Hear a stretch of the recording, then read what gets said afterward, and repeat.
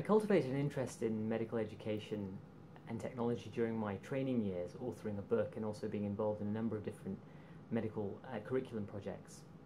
In addition, uh, as a mentor to junior trainees and surgeons, I noticed there was a key trend emerging that trainees preferred small, bite sized bits of information, and this is really where I felt touch surgery fitted in. I've had a long commitment to training both in the UK and also in Singapore.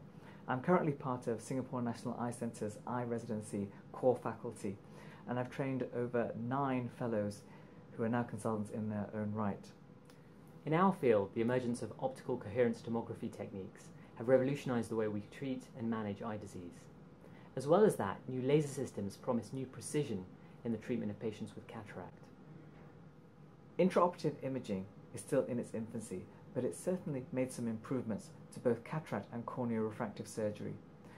Also, smaller gauge instruments have enabled better surgery through smaller incisions. Experienced trainers sometimes forget how they learnt the surgery themselves and expect a very high standard from the junior trainees. The traditional see one, do one, teach one notion is now outdated, and we must look at new ways to make surgeons competent quickly whilst maintaining patient safety. I've seen the changes in both the Singapore and the UK system of training transition into a more fairer, competency based system. This has led to more mentoring and more supervision, leading to a better environment for learning. Junior surgeons now have less time in the operating theatre and are under even more pressure to succeed. On the other hand, there has been a broad recognition that surgical training needs to change and embrace innovative ways to train and learn. Some training programs are now purchasing expensive simulator machines and altering the surgical curricula.